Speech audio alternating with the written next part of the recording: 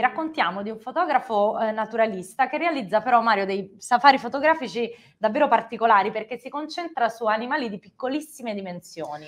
Grazie al suo lavoro noi possiamo scoprire e conoscere tante specie viventi sconosciute ai più.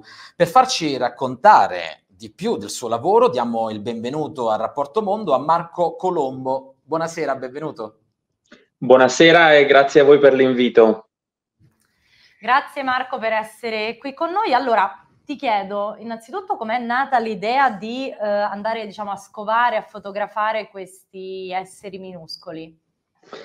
Ah, io sono amante degli animali da sempre, però quando c'è stato il lockdown purtroppo non si poteva uscire di casa e quindi ho cercato di fotografare gli animali che avevo nel giardino, che vedevo dalla finestra e così via e a un certo punto ho ridotto sempre di più la mia scala di osservazione andando a cercare proprio degli animaletti microscopici che si muovevano nel prato, nell'erba, insomma. Quindi l'idea è nata un po' anche perché in quel contesto non si poteva andare in giro molto per fotografare. E, ehm, tra l'altro tu sei, autore, sei l'autore di un libro eh, un libro che hai pubblicato, si chiama Miriade, la microscopica moltitudine, eh, pubblicato edito nel 2023 da Publinova Negri. Eh, noi possiamo vedere anche, chiedo alla regia di mostrarci la copertina. Ecco, raccontaci un pochino cosa troviamo in questo libro. Sì, questo è il risultato, diciamo, di questo progetto a metro zero, in cui racconto la biodiversità del suolo, delle piante, eh, delle pozze d'acqua e questi animaletti che sono tutti colorati azzurri come questi della copertina, gialli, rossi, a strisce, a macchie e così via, eh, sono degli indicatori anche della qualità del suolo e quindi vengono studiati dai ricercatori per verificare cambiamenti ambientali anche dal punto di vista climatico.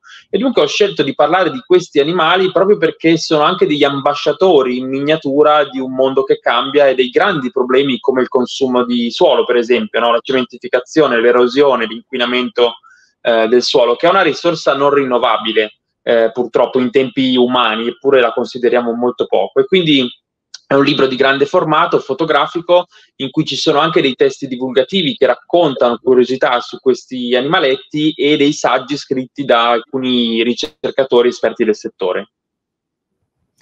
Ecco, mh, mm, diciamo tu hai raccontato che hai iniziato, cioè ti sei avvicinato alla fotografia, hai iniziato a fotografare da quando eri insomma piccolissimo um, e da sempre insomma ti sei dedicato alla fotografia della natura, della biodiversità, dei, degli esseri viventi che, che la abitano. Mh, mm, ti volevo chiedere come è cambiato, se è cambiato il tuo approccio alla fotografia anche con l'evolversi poi della, della tecnologia e dei tanti nuovi strumenti che abbiamo a disposizione oggi rispetto a quando hai, hai cominciato. Sì, io ho iniziato a fotografare all'età di 11 anni, quindi c'erano ancora le diapositive e la pellicola e per tanti anni, dal 99 al 2009, ho scattato con quelle. Poi mi sono convertito al digitale e questo ovviamente ha comportato un enorme salto avanti dal punto di vista della creatività eh, perché il digitale permette di sperimentare in maniera più efficace, diciamo, delle tecniche molto particolari dal punto di vista fotografico mentre dal punto di vista dell'approccio, diciamo che all'inizio quello che mi interessava di più era eh, poter eh, avere un ricordo, diciamo, delle mie escursioni, degli, degli, animali che incontravo, mentre poi è diventato un vero e proprio mezzo per raccontare problemi di conservazione e l'importanza della biodiversità, più che nei singoli scatti, proprio nei progetti a lungo termine che durano alcuni anni. Marco, abbiamo visto alcune delle foto che hai scattato e che hai pubblicato. Ti chiedo, qual è la foto di cui sei uh, più, più, felice? Quella magari l'animale, l'essere viven- vivente che ti ha colpito particolarmente? Raccontaci una storia. Eh, io sono molto critico con le mie fotografie, quindi non è che ce ne sia una che preferisco rispetto all'altra. Diciamo che tra gli animali che ho incontrato e che sicuramente mi hanno colpito di più c'è il proteo, che è una salamandra bianca e cieca che vive nelle grotte del Friuli Venezia Giulia e dei Balcani e si trova solamente nei fiumi e nei laghi sotterranei. Eh, quindi mh, bisogna entrare dentro le grotte e poi fare le immersioni sott'acqua per poterla osservare. È un animale che somiglia a un piccolo drago ed è veramente evocativo, anche perché vive 100 anni addirittura, nonostante sia lunga una spanna, e eh, può digiunare per otto anni di fila, quindi certi animali hanno dei superpoteri incredibili. Queste sono tutte cose che immagino tu abbia imparato nel, nel tuo lavoro e non tutti siamo, abbiamo la possibilità, insomma, di uh, fare questo tipo di lavoro e quindi avvicinarci alla natura in questo modo. Eppure tu in altre occasioni hai raccontato che servirebbe in qualche modo um, avvicinarci, sperimentare la natura personalmente. Come possiamo fare noi, magari che non facciamo i fotografi uh, naturalistici?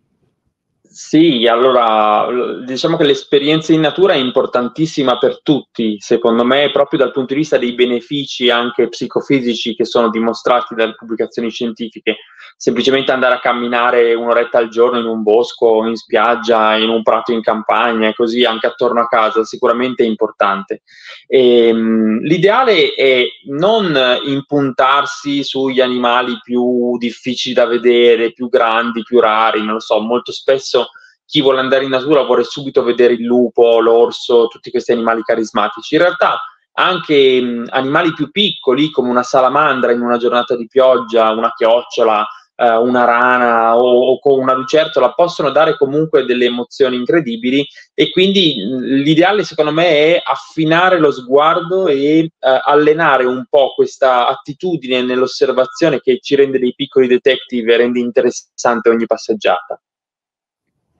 Certo, ovviamente insomma ci, ci, dobbiamo anche noi sforzare, magari no, noi che abitiamo in città, a, a cercare a, ad avvicinarci a sperimentare di più la natura. Marco, prima di, di, salutarci, intanto mentre parlavi continuavamo a vedere le tue bellissime fotografie che scorrevano, voglio chiederti prima di, di salutarci i tuoi prossimi impegni, progetti futuri, qualcosa che ci puoi anticipare che hai in, in programma? Adesso non ho grandi progetti in programma perché la maggior parte degli ultimi libri si è accumulata ed è uscita nei mesi scorsi, però eh, sicuramente terrò tanti corsi di fotografia, io accompagno i gruppi in natura appunto per poter vedere gli animali, per fare osservazione, anche solo per eh, capire come, come, identificare le tracce e quindi quasi tutti i weekend appunto accompagnerò gruppi nei principali parchi nazionali o regionali italiani e poi tengo un po' di conferenze, quindi ci saranno degli incontri nelle varie città italiane proprio per raccontare la biodiversità. Bene, allora noi continueremo a seguire il tuo lavoro. Intanto grazie a Marco Colombo, Colombo fotografo naturalista, per essere stato nostro ospite qui a Rapporto Mondo. Grazie. Gra- grazie, buona serata a voi, grazie.